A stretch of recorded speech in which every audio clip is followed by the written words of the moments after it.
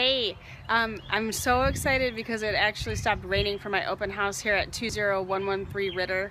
Um, I'm on an awesome five acre wooded lot just to the south of the city of South Bend.